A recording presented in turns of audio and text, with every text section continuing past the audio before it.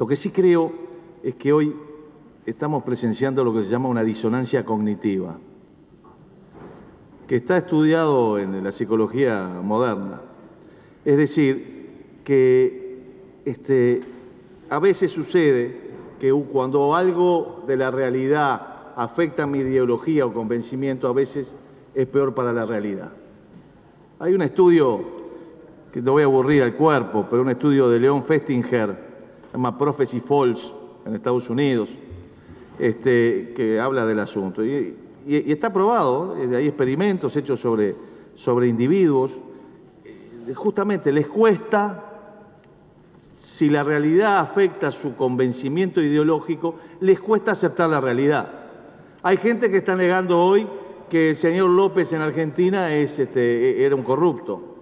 Y bueno, está bien, lo vieron tirando bolso, lo agarraron todo, pero parece que todo un pacto de alguien.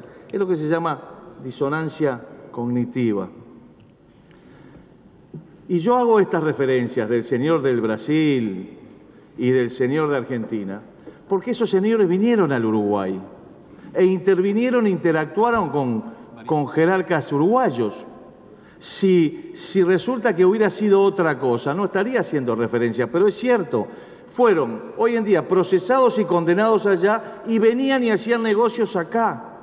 Entonces, obviamente que uno dice, che, pero fíjate, la regasificadora nos dejó un agujero de 75 millones de dólares, eran 175, pero nos cobramos 100 de la, de la garantía. Hay una empresa OAS que sí es cierto, contrató con una empresa GNLS Participaciones con la cual contrató Gas Ayago Sociedad Anónima que pertenece a Ulti y. Y dicen que le dieron 3 millones de dólares a esa empresa. No habrá que investigar.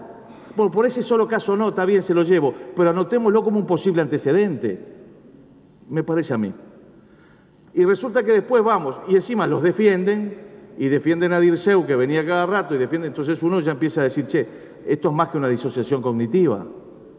Y después va Argentina, y resulta que hasta hoy hay gente que dice que el modelo kirchnerista es el modelo en que tenemos que mirarnos en el Uruguay, y hasta hoy están, tengo las declaraciones acá, ¿eh? aviso por si no. Este, y entonces, bueno, yo creo que se declara un arrepentido en Argentina que venían por Melilla trayendo bolsas de dinero porque ahí no habían controles y los que tienen que controlar son autoridades.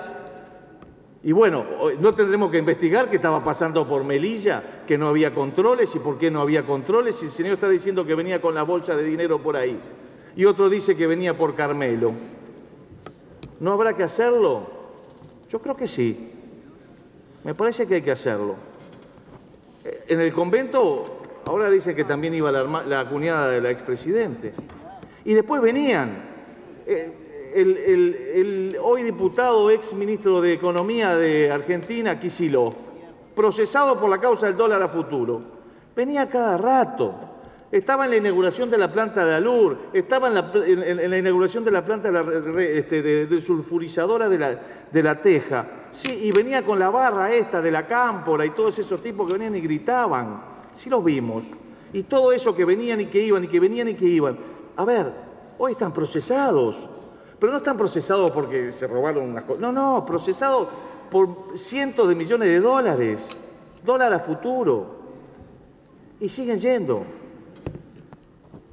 Entonces, si cometían todas aquellas cosas, todas aquellas tropelías del otro lado, a media hora de avión, a dos horas y media en barco, y venían seguido acá, y encima hay denuncias de que traían el dinero y lo lavaban a través de sociedades y compra de inmuebles, y si encima se sigue sosteniendo que hay que admirar el coraje de Cristina Kirchner, y se apoyaba en la época de las elecciones, porque también cuando vamos a investigar el financiamiento de los partidos políticos sería bueno averiguar eso también, ¿no? El apoyo de gobernadores y el apoyo de eh, partidos políticos en Argentina, ¿no? ¿O nos olvidamos de esos apoyos? Cuando mandan los ómnibus, mandan los militantes, eso también es financiamiento de los partidos políticos y el peor de todos también, ¿eh? o tan malo como, como los otros, porque vaya si cuando apoyan para llegar, después no vienen y presionan de otra manera. Me parece, me parece a mí.